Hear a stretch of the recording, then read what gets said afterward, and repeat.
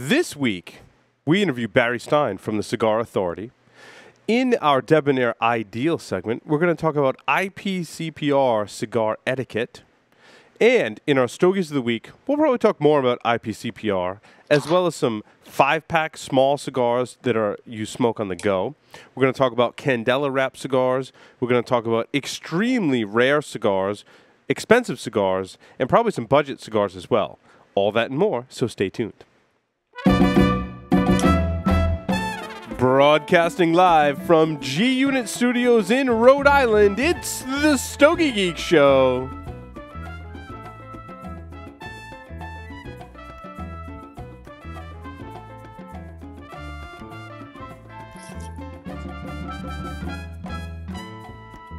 Duran Premium Cigars is one of the fastest growing boutique cigar companies, providing smokers a portal into the old Cuban tradition of perfect balance and the lost art of progressive flavor construction. Roberto Paleo Duran began his career in tobacco over two decades ago in Havana, where his reputation grew within Cuban circles.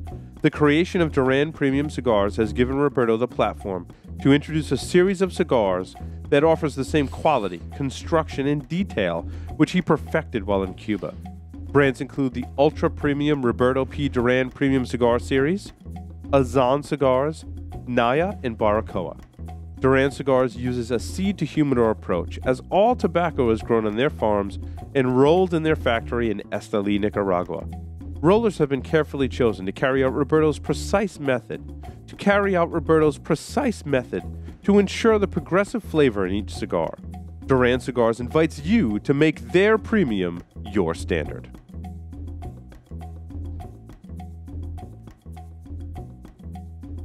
Havana Cigar Club, located in Warwick, Rhode Island, is a great place to enjoy a drink and a cigar. Stogie Geeks listeners can find a $5 off coupon on our website by clicking the HCC logo. M. Bombay cigars represent the most admired cigar culture of Cuba. They select the best of the best quality tobacco to use in the aging process.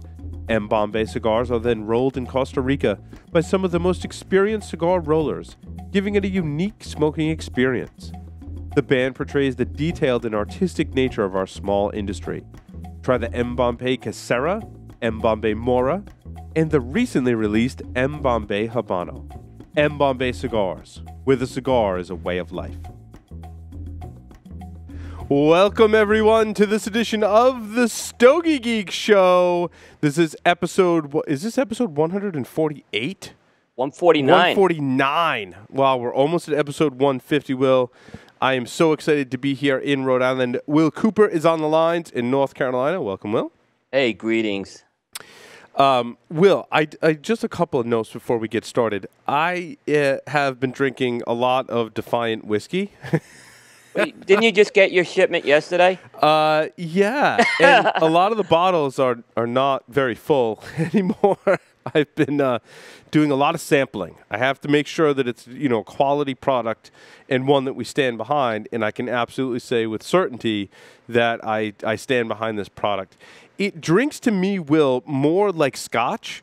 It has that this smokiness to it that uh, is one of the characteristics that I, I would say I've grown to love. So um, props to Defiant Whiskey. I tried mixing one cocktail with it. Now, everyone said it came out great. It wasn't quite up to my standards yet, but uh, I will be working on, with, uh, again, with my fellow mixologists uh, here in studio, a cocktail that will use this whiskey. my first attempt, again, a lot of people drank it and said it was very good. Um, it wasn't quite up to my standards yet, so we're going to go back to the drawing board. Again, it was only my first attempt, uh, and it, uh, you know, and they, they said it was still good, but uh, I've just been drinking it straight, man. Like not even rocks or anything, just straight whiskey, which can get you in trouble. Um, I think I've managed to stay out of trouble for the most part. Um, but I've been enjoying it with a, a wide range of cigars, and I really like it. Will. Yeah, and for folks who don't know, um, I think folks who do listen to the show know I'm not the drinker. Um, I came across this product through a friend, and I really liked it. And this friend happened to be someone who spent a long time in the cigar business. Um, we got started talking, and you know, just some of the things we're doing on the show. Um, they really want they wanted to give us the support. Um, I had drank this product a lot, and um, I was confident enough that Paul would like this product. It's it's it's a whiskey that that I'm not a whiskey drinker, but I drink this this whiskey. Um, and a lot of people said that too. I gave it to one of my friends last night, and he's like, "I'm not really a whiskey drinker," but he said, "You know, this drink's more like Scotch, and it's got that smoky component that you typically find in Scotch," and he really liked it. So yeah, it's not a peaty Scotch, which I've no, learned. Uh, smoke and I, peat are two different flavors. A lot of times they'll be combined in, in, in one, but this is definitely a smoky, and it's very subtle too. It's not overpowering. It's very subtle. Yeah, I, I, would I would definitely agree. I think it's got a little bit of this vanilla note too in there that really it just kind of smooths out the whole thing as well with that smokiness in there. Mm-hmm. Well, uh, Will's coming off the heels of IPCPR. So uh, stay tuned. We're going to be talking about that this evening as well. Um, we've got a fellow podcaster and blogger on the line, Mr. Barry Stein from the Cigar Authority. Those of you may recognize Barry from that show. Uh, of course, the, the store is not too far from here uh, in, in New Hampshire. Uh, so, Barry, welcome to the show. I appreciate you guys having me. It's a pleasure to be here. Yeah. So, Barry, how did you get started in the cigar industry?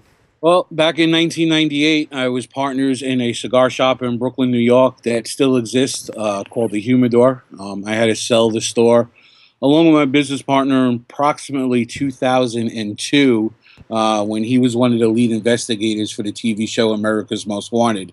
Uh, and he brought me on board to do a lot of his computer research. So we were on the road more than we were in the store, wound up selling it. I wound up missing the camaraderie of a cigar shop because you could take a white collar worker and a blue collar worker and all of a sudden they're equals. Doesn't matter if you were making six figures or struggling to get by on a daily basis, you were all brothers of the leaf. So I started writing for Smoke Magazine. I was one of their panelists for reviewers. Um, I met Sam Leccia uh, when Nub had first started up, and he uh, told me I should start blogging. I laughed. I shrugged it off. Mm-hmm. Uh, he wound up giving me a box of cigars here's your first review and your first giveaway. So I wound up blogging, started doing the cigarsmoker.com. From there, I got hired as a uh, consultant for Miami Cigar Company, which turned into a full time gig. Uh, Miami Cigar and Company and I eventually mutually parted ways. I, resu- I came back to the Northeast. Uh, long story short, too late at that point, but I went to work for Dave Garofalo at Two Guys Smoke Shop, which is in Nashua, Salem, and Seabrook, New Hampshire. So I got to talk to you about that place, the Humidor. I've been there. Mm-hmm. It's mm-hmm. um in it's in Bay Ridge, and yep. I, it is. I think it was after you owned it, Barry, because my aunt doesn't live too far from there, and it is just a classic Brooklyn cigar shop. Is all I'll, yes. I'll just say. So you talk about people coming from different walks of life, but it's a great place. I, I love it actually. Yeah. When I go in there, 450 square feet. Um, the the shop, even though it was owned by cops, kind of had this mystique about it and the then Brooklyn DA, uh, Charles Hynes. he would take the express bus from the courts that would let him off right in right on the corner of the humidor.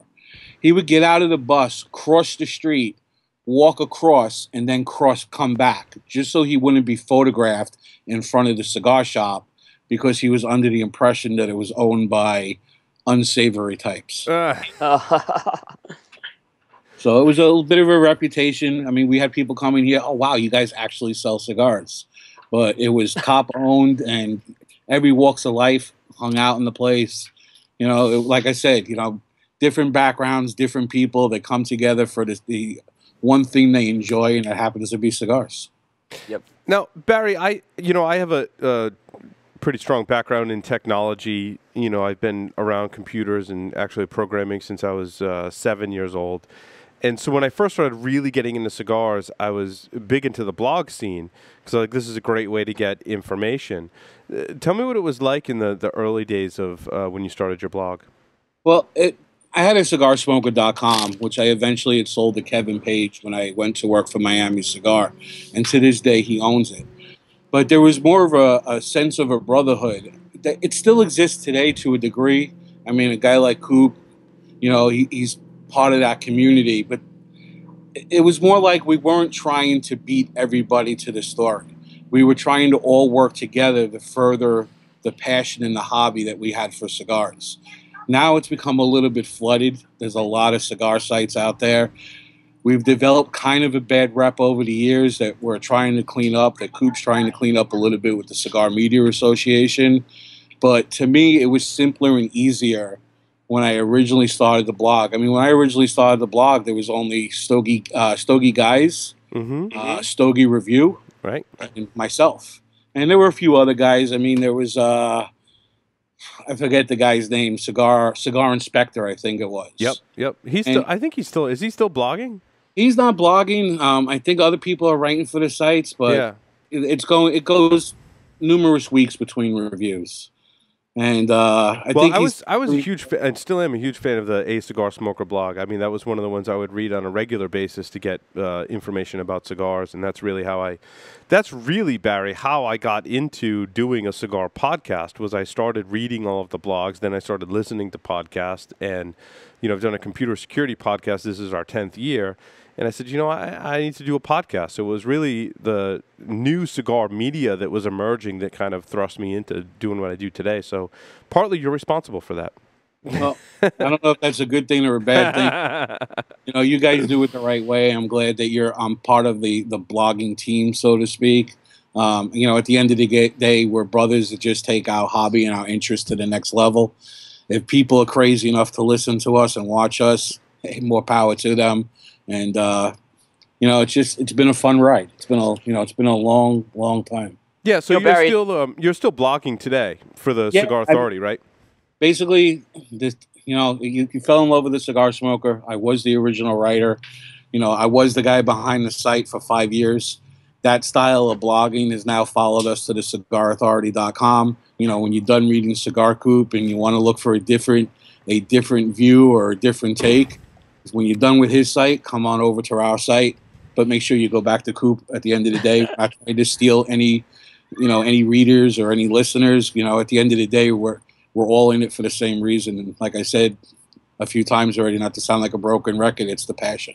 No, it, like I said, Barry, you know, I've been doing this for 10 years and uh, I've been a producer of the content and I've also been a consumer of the content in blogs and podcasts and videos. And I like having the diversity. And when it, you talk about cigars, I liked being able to read the reviews of a particular cigar from different person's perspective. And it would actually help me. I knew that if you wrote a positive review and Coop wrote a positive review and the Stogie guys wrote a positive review, like that was definitely a cigar that I wanted to go buy. So you can kind of use it as kind of a litmus test as to which cigars you want to go try that you haven't tried before. And I think that's one of the great things about the community that we're building around cigar media. I, I agree with that because I know, you know what they say about opinions. You know, everybody has them. Mm-hmm. Uh, but when you got more than one person sharing the same opinion, now there's some validity to it. Mm-hmm. Yeah, and Barry, it's good because um, we may have different approaches to what we do, but I think there's two common denominators: there's the passion of cigars, and I think the other thing is the passion of the media piece. And I think that's where a lot of these guys who get into this, they may love cigars, but when they get into the media piece, they and I've seen it happen, they don't have that passion. No, And, and I mean, yeah, and you've for, I mean, you've come back now for over a year and a half, and I mean, you're you're doing content just about daily right now, and, and you know that's a lot of work, uh, you know. It, it, it is. I mean, some days there's eight articles, nine articles, and uh, you're trying to, you know, juggle that with, you know, my job. You know, my, my primary job is actually doing the web the web end for two guyscigars.com and doing the social media for United Cigar Group, a little bit for Selected Tobacco. You know, Nelson's his own animal. I got this cigar that I blended that I worked to come out with Noel Rojas from from Guayacan. So it's a matter of being able to juggle all these different hats that I've been wearing the last month and a half. And I'm blessed that David, you know, David Garofalo, the owner of all the aforementioned uh, sites and, and outlets, has pretty much given me free reign to do what I've been doing. You know, sometimes we might butt heads and we might not see eye to eye, but what, what boss and what employee ever sees 100% eye to eye? So Well, no, that's the beauty of it, is being able to to have those disagreements and and still move on and and achieve the same goal. You're not always going to agree. Yeah. So 100%. yeah, Barry, do you work? Uh, do you get to spend a lot of time in the stores? Well, I work in Nashua, uh, the Mhm. Nashua location. Uh, Salem's the main location. It's you know it's the number one store in terms of volume and what have you. Mm-hmm. But Nashua is the distribution point. It's the distribution point for all three stores. and also there's a, the distribution. excuse me. There's a distribution point for United Cigar Group, and there's the distribution point for Selected Tobacco. Um, so mostly I'm working in the back office. I'm not on the sales floor. Mhm. Um, I could be a little bit rough. I could be a little bit of abrasive. I'm a New Yorker. I'm living in New Hampshire. It's a whole different animal. Uh, so I'm, I'm like the man behind the curtain. So now, wait, what is United Cigar Group? United Cigar Group is a group that was started by David Garofalo, who was a little upset that a lot of the cigar companies were deep discounting to some of the mail order companies. And it was putting brick and mortars on an uneven playing field. They, they were buying their cigars sometimes at wholesale for more than some of the catalogs were selling it for, which put brick and mortars at a huge disadvantage. I mean, all these mom and pop stores all of a sudden everybody left. Oh, I'm going to go buy it from catalog A and catalog B mm-hmm. because it's 50% cheaper. He didn't think that was right. So he created his own cigar distribution company. Um, there's some brands that he has um, that are made by major manufacturers, um, you know, Perdomo. Um, not sure if I'm really supposed to say it, but one of them comes out of the Camacho factory. And they're all price protected cigars that will never, ever be in a catalog. So it allows cigar company, cigar stores, brick and mortars to operate on a level playing field. It allows them to have the same chance to sell a cigar at the same profit as somebody in another state or down the road and not have to worry about it being 50% off in a catalog, thus driving business out of the store and basically putting a family out of work.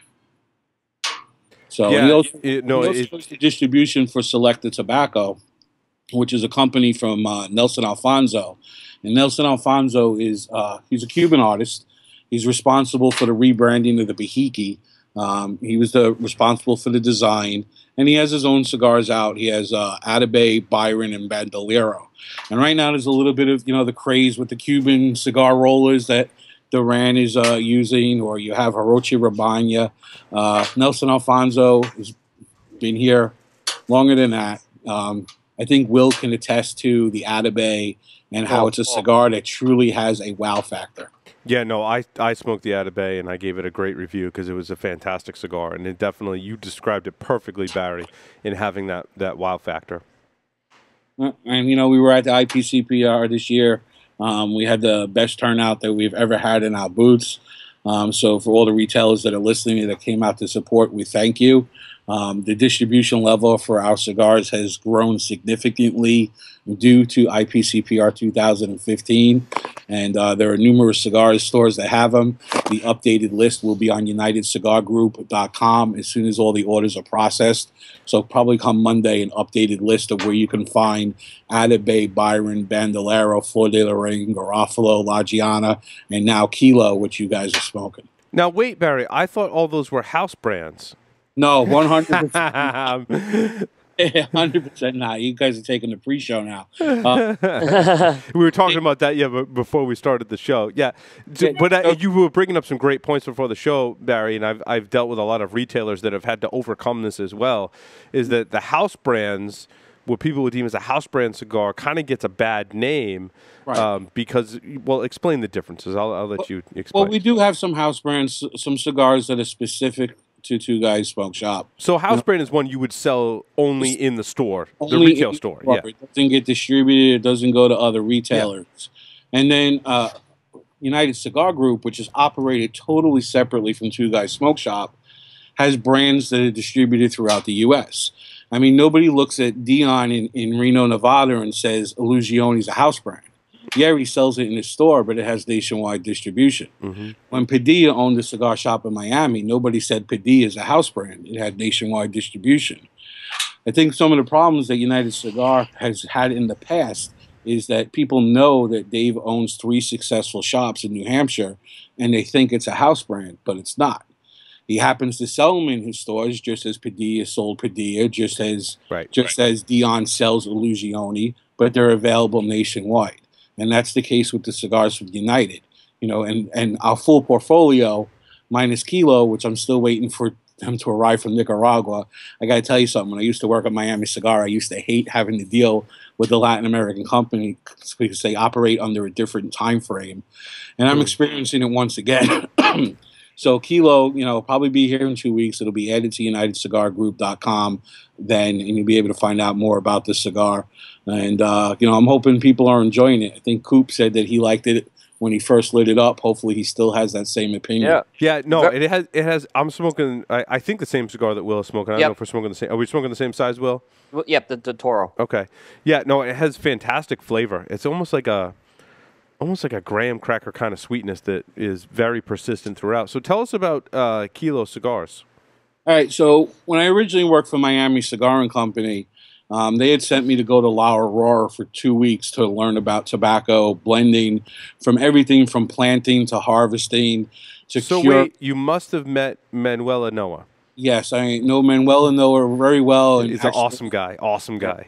Totally awesome guy. As a matter of fact, the owner of Havana Cigar Club Yes. was part of a retail group that I had taken down to La Aurora for a tour, and uh, he was part of that group as well as uh, Lewis from uh, Bicky Blake's was there. hmm Uh, the uh, the other Havana, the other cigar shop in uh, Rhode Island that has Havana in the name, Habano Mr. J's Havana Smoke Shop, or Habano Smoke Shop. That's it. hmm Um, so you know, I, I know him very well. But the two weeks that we were down there, you know, I learned how to plant tobacco. I learned how to pick tobacco. I learned how to hang tobacco in the barn.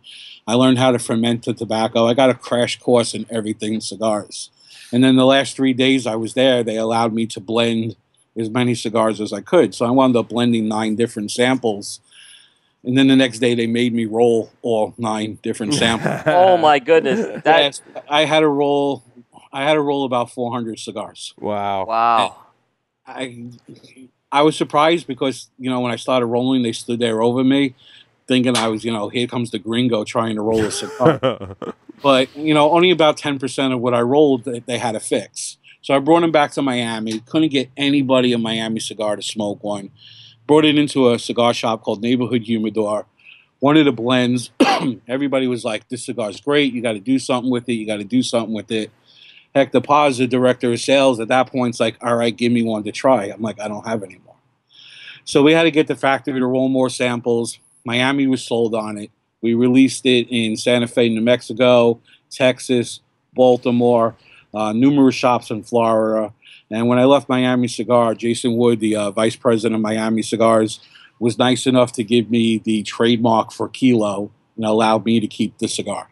so wait, so you you did nine different blends, I did nine different blends. and you only- rolled roughly 400 cigars, I rolled roughly 400 cigars. and then you gave all them out as samples, and you picked this one. only one, only one I gave out as sample. Uh, Okay. it was blend number three. Yeah, and that's what became Kilo after Miami That's- gave you the trademark. Correct. That's a cool. other That's a eight- cool story. I'm glad. I'm glad you you told that story, Barry. Because when you get the story behind the cigar, I think it, it increases your appreciation for it and uh, in, increases interest for it too, as well. So that that's really cool. I mean, you were in the trenches, dude. And Yeah, the other eight ones I, I rolled, I'll admit, with dog rockets. That I still got some of them, and a year, and you know, two years later, I light them up, and they're still dog rockets.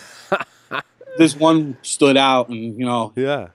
When I was with Miami Cigar, I, you know, I, I love the guys at La Aurora, but I'm a Nicaraguan fanboy, hmm and I always wanted to do something with Noel Rojas from Guayacan. And uh, Miami was in bed with another manufacturer in Nicaragua, and they couldn't do anything with Noel because it would have created a political nightmare. Why are you going to another factory and not us? hmm So when I wound up in New Hampshire, I asked Dave if I could have Noel do the cigar. And Noel and I, when I originally blended the cigar, he knew that I felt something was missing. And the the wrapper stayed the same, Habano. Uh, it was HVA, uh, Is it the kilo? You're talking about the kilo, right? the kilo. The- Yeah. The, the, wrapper, different different seeds, but the wrapper basically remained the same. Okay. But binder on the kilo that's out now nationwide is a Corojo 2006, which is a different binder than the original. And then the filler, instead of being a mixture of Nicaraguan and Dominican fillers, the kilo that's out now is 100% Nicaraguan filler. That's interesting. You have so there's a Corojo binder on this. It's a Corojo Yeah. binder on it. It's a, you know, Ecuadorian Habano, Nicaraguan Corojo 06 binder, three different types of Ligeros on the filler, um, all from Jalapa, and uh, they're all aged for three years.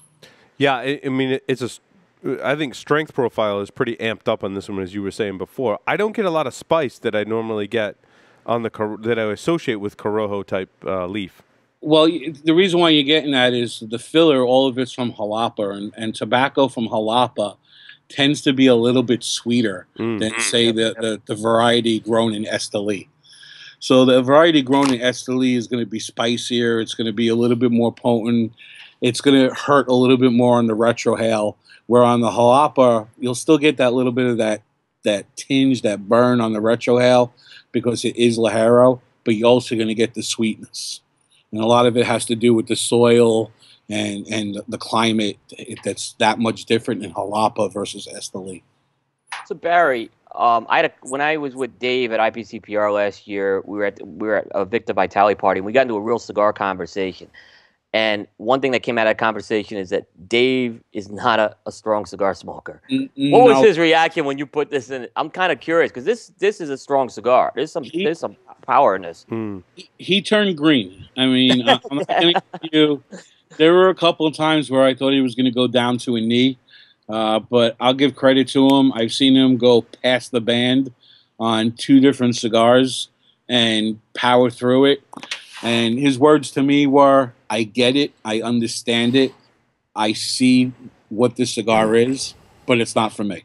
But that's a, still a smart guy who's saying, yeah, you know, don't let your personal, you know, you want to sell cigars in the end and make it the. There is a market for obviously this, in my opinion. Um, so that's a smart move by him too. Yeah, hundred percent. I mean, this cigar is not for the mild cigar smoker. It's not for the medium-bodied smoker. It's for the person that likes the truly one hundred percent full-bodied, in-your-face cigar. Now, when you kind of were changing the blend or, or modifying the blend, tweaking the blend, did you kind of wrestle with whether it should be called kilo, given that there was a kilo out? Um, and that, by the way, that original kilo, I have smoked it. It's, it's a, it was an excellent cigar as, as this is. Or did you? How do you kind of manage that in terms of kilo 2015 versus kilo, I'd say 2012? I, I think because the Kilo 2012 was a limited release, it was always marketed as a test market cigar. And the Mhm. fact that I always wanted to do it with Noel from pretty much day one um, played a huge part into me keeping the name Kilo. Um, if it became, if if it was more than a limited edition test market release out of La Aurora, if I had never wanted to work with Noel from day one, I probably would have entertained renaming it. Uh, but it's always, in, in my mind, this is always where I wanted the cigar to go. Um, you, people liked the test blend that came out of La Aurora enough where it became limited edi- edition, but there was always something missing to me. And when I was friends with Noel, the, the blend that's out today, I actually smoked years ago. And no, Noel and I, we both kept it in notebooks. So when it came time to, to come out, and I reached out to Noel and Kilo, he's like, "Yeah, I still have the blend information right here." I said, "That's the cigar. Let's roll it." And then he told me that he had access to Aganorsa leaf, so he we changed one of the leaves to to Aganorsa, and he sent me the Oh. samples, and I was like, "Bingo! This this this is Kilo that I envisioned from day one. This is Kilo that you and I smoked by playing dominoes." this is the kilo that I want to put out. Let me bring these samples to Dave. Dave smoked a sample, thought he was going to pass out, thought he was going to go down to one knee, but he green lighted the project. Yeah, I mean, um, and I'll tell you, Noel, for folks who are listening, and I know you noticed Barry, he is really the, the, the next rising star in blenders right now. He, he really, uh, he's got his own factory. This guy, this guy's on the right path right now. I think you're going to hear a lot from this man in the next five to ten years. Yep, I love the Garcia family, and this is no slight to to Jaime, no no no slight to Janny, no slight to to Pepin himself. But in my mind, Noel Rojas is the next Pepin. You know, when Pepin first came to the U.S. market, nobody really knew who cigars. He slowly grew. Um, here in the Northeast, Glenn Guten was the rep, um, and eventually he hooked up with Pete Johnson. Tatuaje came on. Next thing you know, Pepin, Pepin is the cigar god. Mhm. I think Noel Rojas, with the right backers, the right people attached to his brand, is the next big thing out of Nicaragua. I completely agree. Sorry, So Will. I'm I'm busy. I'm busy smoking and drinking here and calling it work. So Yeah, I'm actually a little bit jealous that you guys are smoking Kilo because I have yet to smoke one with the band on it. oh wow, yeah, no. Um, so what are you smoking tonight then, Barry? I, I am smoking the new Atabey Ritos. It is the new six by fifty-five, um, thirty. Believe it's a thirty count box.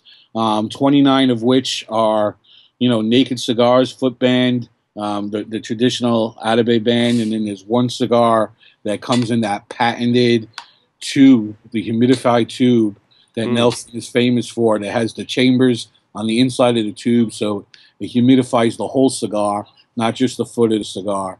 And then you know you can smoke one out of the tube, take the next one out of the box, drop it in the tube. It will stay humidified. Um, you know, some people look at the cigar and say, "Oh, it's all packaging." It's it's everything. It's Mm.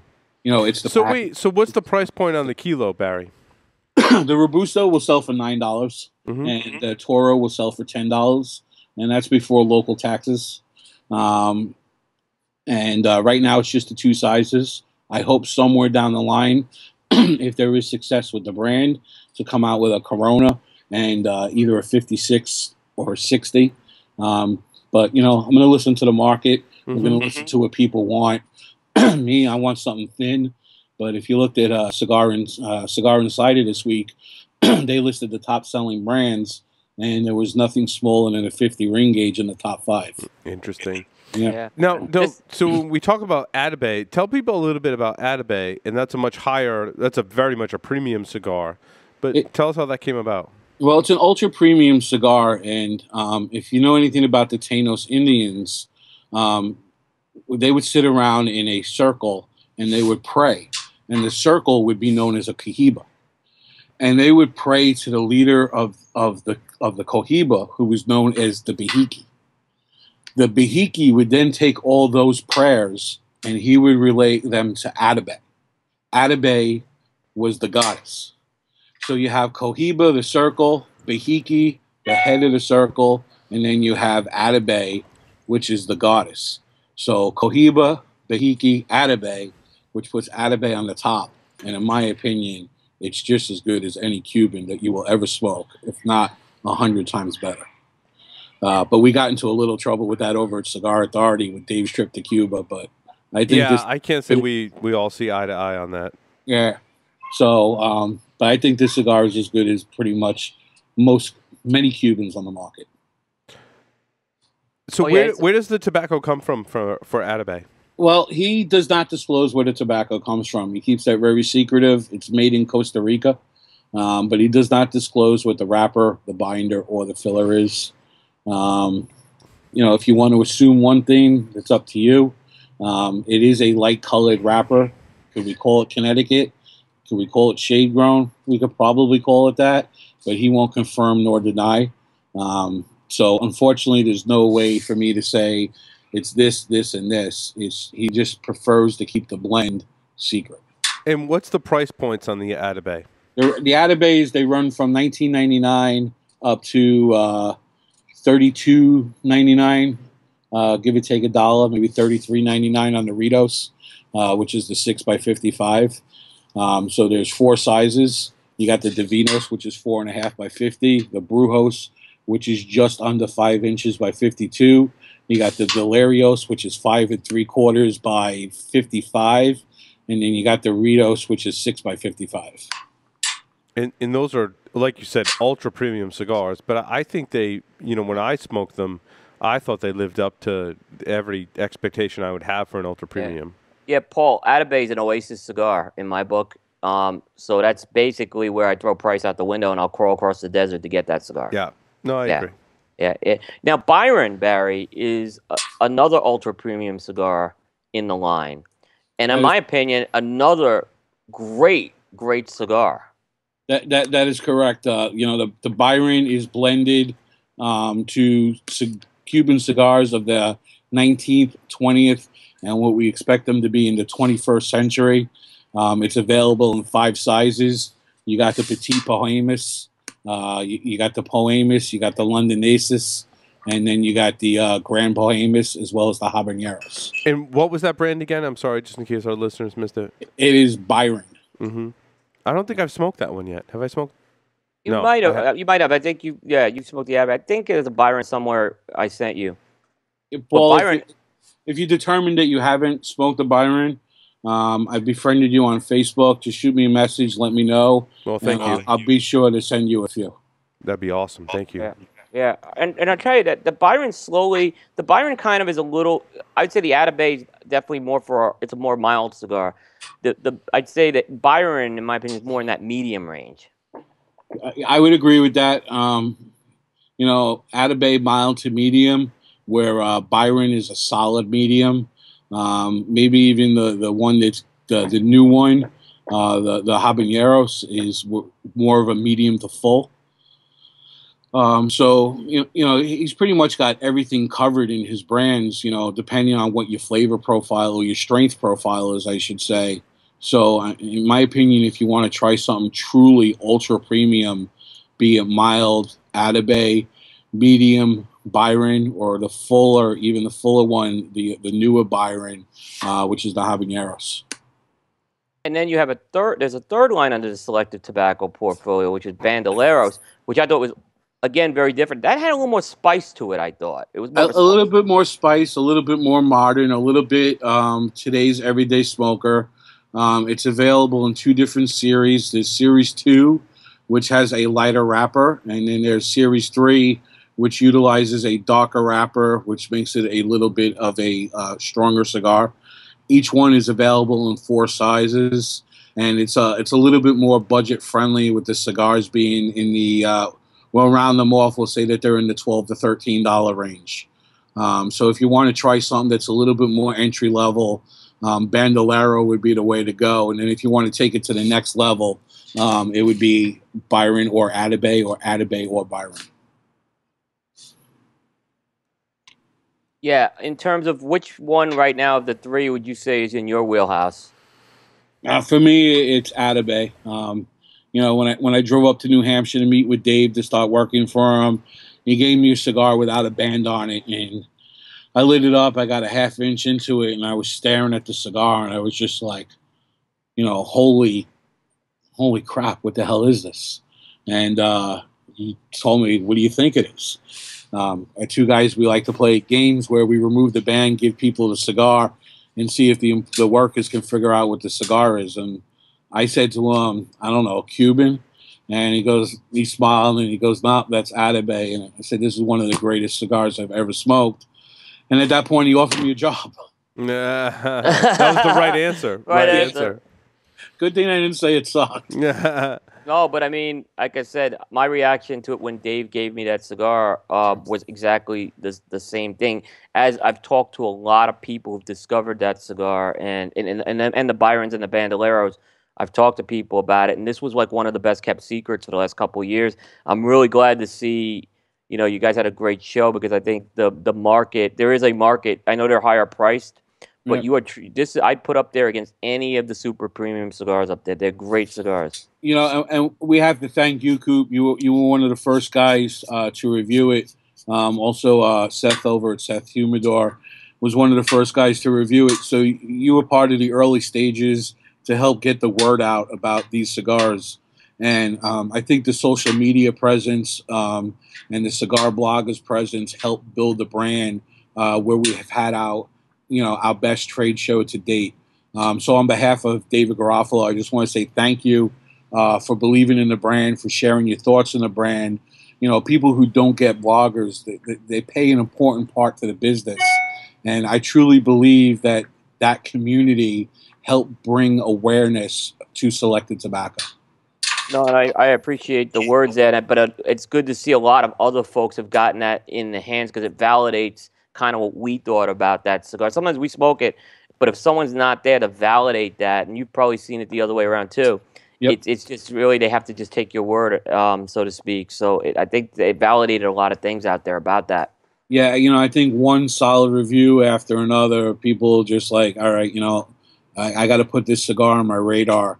And this year at IPCPR, it was on a, it was on quite a few people's radar. That you know, not only was the booth traffic up, um, record sales for the for the uh, for the line at the booth. Uh, we opened up a ton of new accounts, and like I said, it's it's because of social media, or at least what I believe is social media. I'm sure I'm sure Dave, you know, might think something else or what have you, but you know, I'm I'm a social media guy. Uh, I'm a computer guy, and I believe that you could truly build a brand through social media. Hell, just look at Skip Martin. Um, Absolutely. Totally built on social media. So I think as you build awareness, you do it. It's the cheapest form of advertising. It's free. And don't dispute yourself, Barry, because when the first kilo came out, I was I was one of the guys down in Chattanooga along with Kip Fisher. Yeah, and, I you know, remember. and I remember you handed us, a, and Kip is Kip and I are good friends, and we've talked, and I know he's now down in the DR, and he's chomping probably to Mm. get the new iteration of this, which he's going to be really pleased with because you kept that essence of the strengths, but I really like like Paul was saying the sweetness on this cigar, Mm. um, and the strengths doesn't over. And I say this something when it is a really good strong cigar and it doesn't assault your palate, Mm. that's where you know you, you've hit a good mark there. You definitely I get you definitely get a fair amount of nicotine. Yeah. Yeah, Yeah. it's definitely a kick at the end, and, and I think Jose Blanco reached out to me today to you know hashtag name drop, um, and Jose's been my mentor in, in going from blogger um, to the business side of of tobacco, and uh, he told me he stopped by the booth and he got a sample from Dave, and he's back in the Dominican Republic, and he lit the cigar up, and he goes, "Boy, is this cigar strong." But for people who will like strong cigars, I think you hit the mark. But even more importantly, I think this is a cigar that will age really well because there's nuances to the smoke that will only get better over time. So I'm curious to see how the cigar ages as it loses a little bit of that strength, a little bit of that nicotine. Um, I think it's smokable right now out of the box, but I'm going to put one aside when I come in and I'm going to sit on it for at least a few months and see how it progresses as well. you you know, and Jose, you know, you know Jose, and I know Jose. He's gonna tell it like it is to you. He's not gonna sugarcoat that to you. Yeah, Um, 'cause I- hundred percent. When he said that, I definitely breathed a little bit easier. Yeah, he's told me about people who've sent him cigars and and he and feedback he's had to give. Not specific names he's dropped to me, but it's a hard thing sometimes where he has to give that hard feedback. So, um, and Jose's palate second to none. You know, and, and so that's a that's a real good sign there. So good job. And when the you know when they officially come in, you know you're smoking IPCPR samples, uh, but when they officially come in, um, I'll make sure I send you a, at least a few for uh, for you to review if you cho- choose to do so, or to Oh, just oh. enjoy on your own personal time, whichever you prefer to do is uh, you know it's okay in my book. Oh no, appreciate that very very much. You know, I actually, I so I had a, I got these cigars from Dave at the show, and I put them in my uh, I put them in with some Boveda packs just to right away to kind of um make sure that these things stay safe. And then I had to get them to Paul, right? And Right. I drove back from IPCPR, and it's Tuesday, and I left IPCPR. I'm like, oh shoot, I got to find a overnighter to get this to Paul. and I was driving through um, the Panhandle area of Florida, which that was a little bit of an adventure, to, but they made it up to Rhode Island, which is good. So They did. They got here and it's smoking good. So I was Yeah. worried. And you know, you know, I was expecting these cigars a month ago, and they're still probably two weeks out. Uh, but such is life with doing business with in you know Latin America. Yep, yep. You've probably been through that with your days with Miami Cigar, I bet. So Yeah. So I'm looking at myself in the camera right now, and it's like all black behind me. it I- looks like your head's floating, dude. yeah, I feel like I'm in like Bohemian Rhapsody. Yeah. it does look like that. The, the sun went down behind me. It was nice earlier, but Yeah. Oh, now I feel like easy come, easy go. Will, did you have more questions for Barry? yeah, I guess um a little another cigar that I thought was really good was, and I haven't reviewed it yet, was that Flor de Lorraine um cigar, the Yeah, Maduro. Flor de Lorraine was was uh, it, it was blended in the style of LGC. Um, That's yeah, yeah, you can see it a little. I mean, obviously from the imaging, but the I could see the tasteful profile as well. right, especially on the Maduro. and you know it goes it goes all back to price protecting. You know, that was a cigar that may or may not have been price protected, and Flor de Rein is price protected.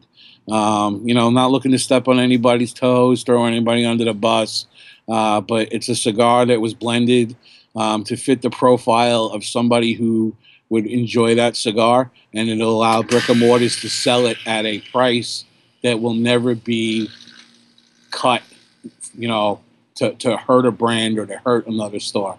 So it was something that was just done to protect retailers. Um, the Maduro, uh, specifically the sink size, um, is one of my pretty much everyday smokes. Uh, I smoke six cigars a day, but if I smoked that four, four out of six days a week, that's not an exaggeration. You know, I smoke six days a week. The seventh day, uh, you know, it's the day of rest. So on Sunday, I try not to smoke. I try to, you know, make it a day with my girlfriend in New Hampshire, who happens to smoke cigars. Uh, but we try to spend the day, you know, not going to a cigar lounge, rest the palate. But you know, it is a cigar that has become an everyday smoke for me.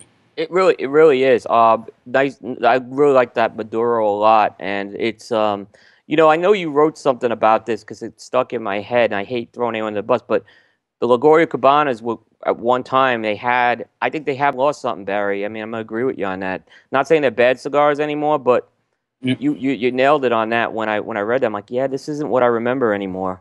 Nah, I mean, our, our, profiles evolve. You know, maybe, maybe our evolve. And, you know, it may very well be the same cigar. It's just that we've grown up as cigar smokers, and now it just tastes different to us. Uh, Fair comment. It's a very fair comment. but to me, the, the, the Flor de Rein is a throwback. Um, it's a throwback to the cigar the way I remember it to be. Yeah, it's a very yeah, very good. Um, have you? Last question I got is you know being a Paul and I talk about this a lot. So you know I'm down in North Carolina. I moved from New York. Paul's up in the Northeast, uh, New England, Rhode Island area. You're up a little further north. We find that there's brands sometimes that when we relocate or go to different areas that we can't get exposure to that we Oh. kind of suddenly, you know, if we go and if we kind of discover through each other. Have there been any brands that you've discovered maybe in the New England area that you didn't see in New York or Florida that kind of really have taken off with you? Well, first of all, Florida was the worst cigar market in the world. I, I- mean, I'm- It is, and I've been down there. I when you get down to Miami, I agree. you know, you, you got first generation Cubans, and they come into a store and they're looking for Monte Cristo. All they want is Monte Cristo. Occasionally, you'll get a Romeo and Juliet. So you have cigar stores that are carrying Monte Cristo and Romeo and Juliet. Then you have the second generation Cubans that are looking for Padron. And then you have them also looking for Fuente. Outside of a handful of shops, such as Sabor Havana, such as uh, Neighborhood Humidor, such as uh, you know Ria's place in, in Coral Gables. Uh, wow, she's gonna kill me. I can't remember the name of a shop, and I was there every night for seven, eight months. Cigar seller. Outside of those three shops, and, and we'll throw Neptune in there as well. So outside of those four shops, finding a diversification of cigars in Florida outside of Monte Cristo, Romeo, Padron, and Fuente is virtually impossible. So I couldn't wait as a cigar smoker to get the hell out of Miami. Mhm. I mean, it was brutal. Now, when I come further up to um, New England, there's two brands that, that stand out to me that I haven't seen in New York City and I haven't seen in Miami. One of the, well, three brands. One of them is Icon uh, from the boys Great, at great great cigars. cigar from the boys at uh, Hammer and Sickle. Um, they got the icon to me, which is very Ashton-esque. It is a smooth, creamy, milder cigar. They released the Maduro at the trade show. They're coming out with Kalanok. Uh, saw which is- that. yeah, which is a peat. It's a cigar that is cured in peat. Um, Paul, so, I, I got that cigar, Paul. Yeah, so I haven't smoked it yet. Yeah, if Can't you're, wait to try Paul, it. you're a Scotch drinker, correct? Yes. If I don't know if you're a fan of peaty scotches, but Every this, once in a while, I do like them. Yeah. this cigar is I don't want to say it's peat infused, but it's cured in you know they use peat to cure it. You know, kind of like the the the the the bourbon barrel aging or whatever. In this case, it's peat. So if you like a peaty Scotch, it's a cigar specifically designed for that. Um, also up here, I've seen a lot of uh, Tortuga, uh, which is Victor Vitali's brand. Um, on those and- too. Yeah. And you know, Dave, my apologies. Uh, but also 724 I've seen up here, which was a brand that started in New Hampshire. Um, so those are three brands that I see up here that I didn't see in New York and I didn't see in Florida. Um, you know, Icon and Tortuga, they're just great brands. Very, very, very true. I mean, um, I just smoked Victor's Connecticut for the first time at the show, Paul. but There's some coming your way. Nice. Uh, a classic, classic throwback Connecticut. Coop, let me let me turn the tables on you. Out of curiosity, what's big in your area that you didn't that you don't see because you travel. You know, I've Right. I've sat and had a cigar with you in Staten Island, New York. I've Yeah. sat and had a cigar with you in Chattanooga, Tennessee. I've sat and had a cigar with you in West Palm Beach, and I've sat and had a cigar with you in Miami. What's in your neck of the woods that you don't see anywhere else? Very interesting. So for a while, a big cigar line down here was Lou Rodriguez. Unfortunately, he went out of business. You know, he was based in North Carolina. Um, Sean Williams, Premier Mundo, um, is pretty big in the southeast. Given that he's in Atlanta right now, he's Right. doing some really, really good stuff with um, El Titan de Bronze, PDR cigars. Um, now he's working with es- Espinosa down there. Um, so I mean, those are the two I would say that really stand out that um, that we don't see um, a lot. You know, we see a lot of that. I when I go to other places, and Casa Fernandez would be the third. Yeah. Um, 'cause I just know from talking to Paul, there's not a lot of Casa we don't get Fernandez up there. up here. Yeah. Yeah. Uh, same up here. So, Yeah, I'm I'm fortunate to be near a lot of shops here in Rhode Island. If I want, you know, Davidoff or Fuente, I can go to actually multiple shops that carry them. Uh, Roma Craft is is big uh, up here in, in, uh, in Mr. J's. Uh, I can go, you know, next door and get Elohio and Falto uh, are two of the brands that are exclusive to him eh, to him next door. So there's a lot of different brands that that I have access to um, that maybe others don't. Um, I know I send Phil a lot. I mean, I send Will rather a lot of uh, uh, Fuente because it's not as big in his area. So It's tough to get Fuente. We're in Charlotte. Yeah. You mentioned Falto when I blended the original kilo. The last day I was at La Aurora, the last day I was doing blending, Louis Falto was there because Falto cigars were made at La Aurora. And he gave me a little bit of insights too, so he played a role in my education, nice. my blending education. Really, really nice guy uh, from Puerto Rico. Yeah. Yeah, he, we've that had him on the 20th anniversary is a top 10 cigar this year. Oh, it's one of, yeah, that it's thing is one of the best he's done. Yeah. I'll have to look for it because I haven't tried it yet. Excellent. Uh, so Barry, are you ready to play five questions with the Stogie Geeks? A hundred percent Three words to describe yourself.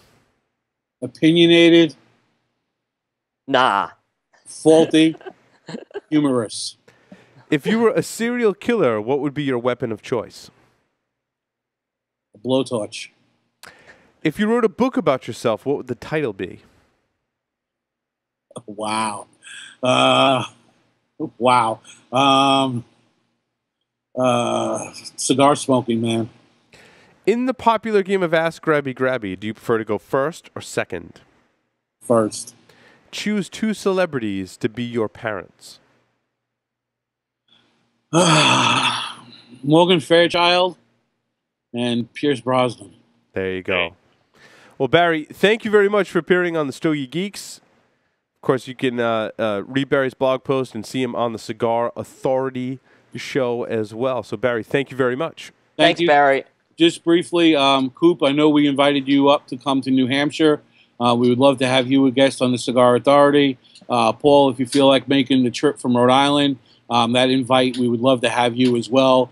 Uh, come up, spend the day with us, be a guest of uh, David Garofalo, Mr. Jonathan, Chuck Morrison, and myself over at the Cigar Authority. It's on my bucket list, dude. We've been I- I- talking I can't about it, believe- I Yeah, think- I can't believe we. I live that close and I haven't been up there. I've, I've always want. Everyone always talks about how great Two Guys Smoke Shop is.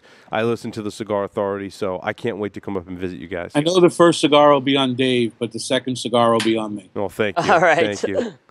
Take Sweeten care, the offer. and I, I appreciate you uh, allowing me to ramble. no worries. Thanks, Barry. it. Take care. Hey, Barry, stay on the line one second. Sure. Okay. And with that, we're going to take a short break, come back, and talk about our Debonair Ideal segment where we will discuss IPCPR cigar etiquette. Stay tuned.